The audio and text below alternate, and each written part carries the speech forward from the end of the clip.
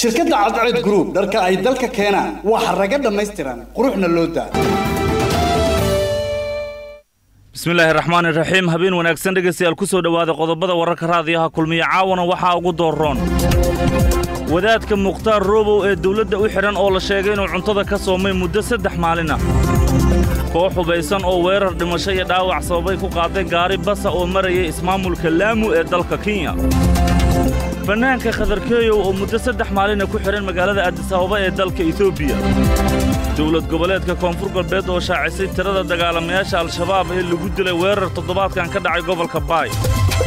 Korneyl caarre oo ciidamadii uu hoggaaminaya iyo hubkiisiiba ku wareejiyey somalilan maxkamadda ciidamada qalabka sida oo maanta xukun ku riday sargaal ka tirsanaa al-shabaab.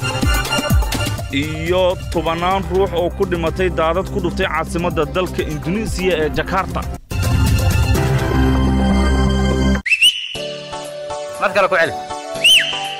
War bal maxaan kaaga warramaa. Xaaladda dalka dee ma run baad rabtaa mise been? Run baan rabaa beenraad ma leh. Kulmiye ka dhegayso. Wayna kaa haddaba waa habeen khamiista taariikhdu waxay ku beegan tahay labada bisha janaayo sannadka laba kun iyo labaatan warkan oo dhan caawa waxaa u diyaara yunis duraan cali. Mahadsanid axmed siciid axmed bismillaahi raxmaani raxiim habeen wanaagsan dhegaystayaal ku soo dhowaada qodobadii aad maqasheen oo faahfaahsan. Koox hubaysan ayaa weerar dhimasho iyo dhaawac sababay ku qaaday gaari bas ah oo marayay ismaamulka laamuwe kenya. Maslax abuukar xaaji ayaa warkan inoo faahfaahinaya sida ay sheegayaan wararka ka imaanaya ismaamulka laamu ee dalka kenya kooxa hubaysan ayaa dhabaha u galay bas ku socdaalayay deegaan ka tirsan ismaamulkaasi iyagoo qaarijiyey ilaa iyo saddex ruux islamarkaana dhaawacyo u geystay saddex qof oo kale iyadoona aan la xaqiijin cidda ay ka tirsanaayeen kooxdaasi. Sidoo kale waxaa warbaahinta la hadlay madaxa booliiska ismaamulkaasi irungu macharia kaasi oo xaqiijiyey in arrintan ay dhacday balse baaritaano xooggan ay ku wadaan sida ay wax u dhaceen. Baska waddada loo galay islamarkaana qaar ka tirsan dadkii saarnaa la toogtay ayaa waxa uu ka yimid magaalada mombasa isagoo ku sii jeeday ismaamulka laamo sidoo kale waxaa dad goobjoogayaal ah ay sheegeen in markii dhacdadan ay dhacday kooxihii dhibaatada geystay halkaasi ay isaga baxsadeen iyadoo ciidamada booliiska wax ka badan labaatan daqiiqo kadib halkaasi ay soo gaareen. Falalkan ayaa dhowaanahan waxaa deegaano ka tirsan ismaamulada waqooyi bari kenya ka fulinayay ururka al-shabaab. Inkastoo ilaa iyo iminka aysan si rasmi ah u sheegan haddana qaar ka tirsan laamaha ammaanka. Ismaamulka laamu ayaa la filayaa saacadaha soo socda in ay bayaan ka soo saaraan weerarkaasi cidda geysatay iyo khasaaraha rasmiga ah ee ka dhashay farnaanka qadar kenyo ayaa muddo saddex maalin ah ku xihan magaalada adisababa ee xarunta dalka itoobiya. Wariyeenna farxaan maxamed xuseen ayaa warkan inoo soo koobaya. Wararka laga helayo waddanka itoobiya gaar ahaan caasimadda waddankaasi adis ababa ayaa waxay sheegayaan in muddo saddex maalina uu ku xiran yahay fanaanka qadar ibraahim kiyow kaas oo la sheegay inay xabsiga u taxaabeen laanta socdaalka iyo jinsiyadaha ee dalka itoobiya qadar kiyow ayaa waxaa la sheegay inay ciidamada ammaanka garoonka diyaaradaha magaalada adis ababa ay qabteen islamarkaana ay xabsiga u taxaabeen halkaasi oo muddo saddex maalina uu ku xiran yahay. Waxaana la qabtay xilli uu safar ku marayay magaalada adis ababa ee dalka itoobiya. Wararka qaar ayaa waxay sheegayaan in fanaanka qadarkiyow loo haysto dukumentiya itoobiyaan oo qaldan kuwaasi uu ku safrayey islamarkaana ciidamada ammaanka ay qabteen ilaa iyo hadda wax maxkamadda lama soo taagin waxaana la filayaa in la soo taaga maxkamad dhowaan fanaanka. Sidoo kale waxaa la sheegay in fanaanka loo qabtay looyaro u doodi doona marka la soo taaga maxkamad ku taalla magaalada adis ababa ee dalka itoobiya. Dowladda soomaaliya gaar ahaan wasaaradda warfaafinta ayaan weli ka hadlin xarigga dalka itoobiya lagu geystay fanaanka soomaaliyeed qadar ibraahim kiyow kaas oo galay xariggiisa maalintii saddexaad. Mahadsanid farxaan maxamed xuseen markaana gobolka baay dowlad goboleedka koonfur galbeed soomaaliya ayaa shaacisay tirada dagaalamayaasha al-shabaab ee lagu dilay. Weerar toddobaadkan ka dhacay deegaan hoostaga magaalada baydhabo ee xarunta gobolka baay. Axmed saadiq yiro ayaa warkan baydhabo inooga soo diray. Maamulka koonfur galbeed soomaaliya ayaa war ka soo saaray dagaal ka dhacay deegaanka goofguduud buurey oo qiyaastii soddon kilomitir u jirta magaalada baydhabo ee gobolka baay. Koonfur galbeed waxa ay sheegeen in jab aada u xoogan ay u geysteen dagaalamayaasha al-shabaab ayagoona sheegay inay ka dileen dagaalamayaal aada u fara badan kuwo kalena ay dhaawaceen. Wasiirka warfaafinta koonfur galbeed soomaaliya ugaas xasan cabdi maxamed ayaa waxa uu shaaca ka qaaday ayagoo garabsanaya ciidamada xoogga dalka iyo kuwa amisom. Al-shabaab ay jab lixaadle ugu geysteen deegaanka goofgaduud buurey. Iyo wuxuu sheegay wasiirku in ciidamada kala duwan kuwa qaranka soomaaliyeed kuwa koonfur galbeed iyo amisom ay isgarabsanaya ay toddobaadkii la soo dhaafay dabayaaqadiisii dagaal kula galeen deegaanka goofgaduud buurey oo qiyaastii u jirta ilaa shan iyo soddon kilomitr degmada baydhabo halkaasoo ay isku dayeen shabaabku inay dhibaato ku gaarsiiyaan dadka shacabka magaaladaas ku nool iyo inay soo weeraraan deegaankaas hoos yimaada degmada baydhabo. Sida wasiirka uu sheegay waxaa halkaas loogu geystay dhibaato aada u fara badan iyadoo qiyaastii dhimashada shabaabka looga dilay deegaankaas dagaalka ay soo qaadeen ay gaarayso ilaa soddon qof iyo in ka badan. Dhaawacyaduna sida wararka lagu helaya ay intaas ka sii badan yihiin. Dhinaca kale madaxweynaha maamulka koonfur galbeed soomaaliya ayaa waxa uu sheegay wasiirka inuu kulamo kula soo qaatay magaalada muqdisho uuna kagala soo hadlay madaxda ugu sarraysa qaranka sidii la ysugu furi lahaa waddooyinka xirxiran ee deegaanada koonfur galbeed soomaaliya.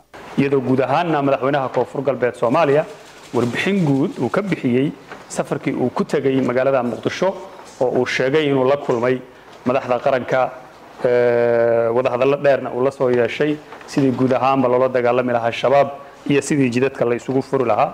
Isagoo madaxweynuhu uu sheegay in ciidan tiro afar boqol ah oo loo tababaray boliiska soomaaliyeed gaar ahaana koonfur galbeed soomaaliya gaar ahaana gobolka shabeellada hoose uu soo xiray tababur in muddo ahba uga socday xarunta boliiska soomaaliyeed.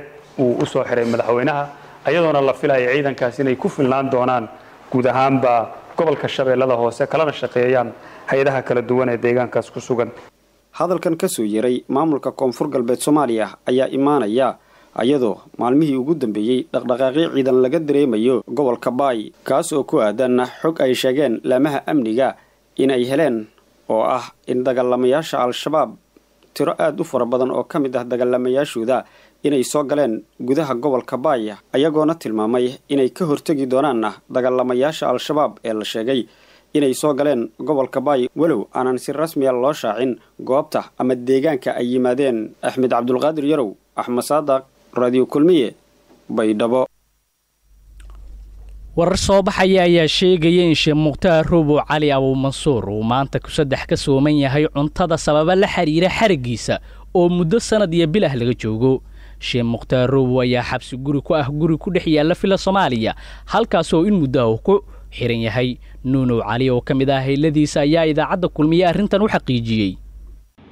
Muddo saddex maalin oo maanta muddo saddex ay ku tahay sheekhu wuxuu ka soomay cuntadii mana garan karno sababaha cuntada uu soomay oo dhabta ah. Marka waxaana soo gaaraysa arrintaasi maxay ahayd foosho xun awalba sheekhu wuxuu xirnaa u afduubnaa farmaajo. Marka arrintaasaa jirta marka idinku ma la kulanteen oo sheekha ma u tagteen sheekha meel uu ku xiran yahay meel kale ma ogin laakiin xogta hoose aan helayno oo aasaas noo sheegayso inuu sheekha cuntada ka soomay muddo saddex maalin gudahooda waa gartay. Marka sababaha uu cuntada uga soomay waxaa jira warar soo baxaya oo sheegayo in sheikhu uu doonayo in xabsiga laga sii daayo ama xabsi guriga uu ku jiro. Idinku sidaas maad u maqasheen warka? Anaga warka wuxuu nagu soo gaaray oo keliya in sheekh cuntada uu ka soomay saddex maalin ka sooman yahay. Marka cid rabta in ay xabsi ku sii jirtana ma u malaynaya adduunka inay jirto. Waaqaan jeedinayno waxay tahay haddii oo sheekhaas uu xabsigaas ku dhinto farmaajo aan kula xisaabtami doono. Haddaan nahay ehelada sheekha codkaasi waxaa u dambeeyey warkii sheekh mukhtaar ruubow cali abuumansoor oo maanta ku saddex ah cuntada uu ka sooman yahay markaana somalilan korneel caare ayaa ciidamadii uu hogaaminayay hubkiisaba ku wareejiyey somalilan eliyaas cabdi cali ayaa warkan hargeysa inooga soo diray sagaal boqol oo askari oo ka tirsan jabhaddii korneel caare ee ka dagaalamaysay gobolka sanaag berigiisa ayaa maanta waxaa lagu soo wareejiyey ciidamada militariga somalilan ciidankan oo ku sugnaa duleedka magaalada ceerigaabo waxaa la wareegay madax dhaqameed iyo saraakiil ka tirsan ciidamada militariga somalilan ee halkaasi ku sugan. Korneel caare oo halkaasi muddo laba sana ah ku dagaalamayeen jabhaddiisu ayaa sheegay in sagaal boqol iyo teknika uu ku wareejinayo cuqaasha ka soo jeeda deegaanada gobolka sanaag iyo sidoo kale ciidanka militariga somalilan maanta waxaan idinku wareejinayaa ciidankii jabhaddii dulmadiid oo afar fadhiya. Idinka ilaaway halkan waxaa jooga hal fadhi oo infentari ah iyo hal fadhi oo teknika laba fadhi waxaa jiraan xeebta waxaa jira urur bohol joogay wuxuu soo gelayaa caawa beesha layidhaaho ceelabaan isagana indhihiinna ku arki doontaan haddii aan layidhaaho tirada ciidankaasi siddeed boqol wey tirada ciidankaasi waa siddeed boqol oo infentari ah iyo boqol tiknikada saaran sagaal boqol. Intaasaan maanta idinku wareejinayaa. Sanadihii u dambeeyey ayaa ciidamada militariga somalilan iyo jabhadda korneel care oo ka go'aysatay ciidamada militariga waxa ay ku dagaalamayeen deegaanada gobolka sanaag halkaasi oo uu taliyahaasi sheegay in cadaalad darro ay ka jirto somalilan iyo ciidamada militariga dhexdeeda islamarkaana aanu ka mid ahaanayn isagoo dagaallo sheegay inuu kula jiro xukuumadda madaxweyne muuse biixi cabdi islamarkaana uu dalka ka tirtirayo hase yeeshee hesiiska ay gaadheen xukuumadda somalilan iyo jabhadda korneel care ayaa waxaa ka dambeysay kadib markii madax dhaqameedka uu ka soo jeedo korneelkaasi ay heshiis dhex dhigeen isaga iyo xukuumadda. Wadahadallana u socdeen muddo afar bilooda ilyaas cabdicali raadiyo kulmiya hargeysa. Maxkamadda ciidamada qalabka sida ayaa maanta xukun ku riday sargaal ka tirsanaa dagaalamayaasha al-shabaab. Cabdulaahi nuur cali ayaa warkan inoo faahfaahinaya maxkamadda ciidamada qalabka sida qaybteeda sodolabaatanaad ayaa maanta xukun xabsi ah ku riday sarkaal ka tirsanaa dagaalamayaasha al-shabaab.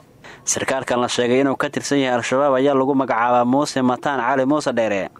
Waxaana lagu riday xukun dhan shan iyo toban sano oo xabsi ciidana. Ninkan ayaa la sheegay in laga soo qabtay inta u dhexaysa deegaanada buurweyn iyo show oo hoos yimaada magaalada buuloberde ee gobolka hiiraan isaga oo ku hubaysan bambagacmeed gudoomiyaha maxkamadda ciidamada qalabka sida gaashaale maxamed cabdulle aadan ayaa ku dhawaaqay xukunka lagu riday sarkaalkan.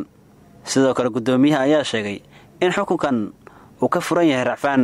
Maxkamadda darajada koowaad ciidamada qalabka sida waxay ku dhawaaqaysaa go'aanka dacwad ciqaabeedkii loo haystay eedaysane muuse mataan cali muuse dheere labaatan iyo laba jir ah ina aamino xaaji maxamed deegaanka buurweyn ee hoos timaada degmada buluburta ee gobolka hiiraan kaasoo lagu soo eedeeyey in uu ka tirsan yahay ururka al-shabaab lagana soo qabtay inta u dhexaysa deegaanada shaw iyo buurweyn oo ka wada tirsan gobolka hiiraan asagoo ku huwaysan bamgacmeed ama bam efon markay dhegaysatay khiraalka eedaysane muuse mataan cali muuse dheere ee uu garsoorka ka hor caddeeyey ee ahaa in uu ka tirsan yahay ururka al-shabaab sheegayna in ciidanka xoogga dalka soomaaliyeed ay ka soo qabteen asagoo maraya waddada u dhexaysa deegaanada buurweyn iyo shaw markay dhegaysatay markhaatiyaasha la hor keenay maxkamadda mid midna u weydiisay marag furkooda. Waxa ay maxkamadda ka hor caddeeyeen in la soo qabtay muuse mataan cali asagoo ku socda waddada u dhexaysa buurweyn iyo shaw kuna huweysnaay bambo efon ah iyo galkeeda. Markay ciidanka arkeenna isku dayay in uu ka baxsado. Isagoo ordayana ay ku dhufteen xabad ak ah. Markay aragtay sidaas darteed maxkamadda ciidamada qalabka sida waxaa u caddaatay in muuse mataan cali muuse dheere uu yahay dembiilo gali dembigii lagu soo oogay waxayna maxkamaddu ku xukuntay. Dembiile al-shabaab muuse mataan cali muuse dheere shan iyo toban sanoo xabsi ciidan ah. Maalmihii u dambeeyey maxkamadda ciidamada qalabka sida qaybteeda todolabaatanaad waxa ay kordhisay xukunada ay ku ridayso xubnaha lagu eedeeyey inay ka tirsan yihiin al-shabaab iyo ciidamada dowladda ee dadka shacabka ah u geysta dilalka halkaad nagala socotaan dhegaystayaal waa idaacadda kulmiye markaana warkii dibadda ugu yaraan kow iyo labaatan ruux ayaa dhimatay kadib daadad xooggan oo ku dhuftay caasimadda dalka indunuusiya ee jakarta. Kooxaha cimilada qaabilsan ee dalka indunuusiya ayaa xoogga roobka da'aya ku qiyaasay saddex boqol toddobaatan iyo toddoba militir maalinkii. Roobka oo bilowday habeenkii loo dabaaldegayay sanadka cusub ayaa la filayaa inuu sii socdo tan iyo dhammaadka toddobaadkan. Dadka ay waxyeelada soo gaartay ayaa lagu qiyaasay in daahaan ay u dhexeeyaan siddeed ilaa siddeetan iyo laba sano. Degmooyin badan oo hoos taga magaalada caasimada u ah waddanka ee jakarta ayaa la sheegayaa in ay korontadu ka go'dan tahay dhegeystayaal. Waa naga intaa warkii habeenaad kala socoteen idaacadda kulmiye. Intaa war noocaana ku kulmi doona sidaas iyo amaana allah. Sidaas iyo amaana allah. Sidaas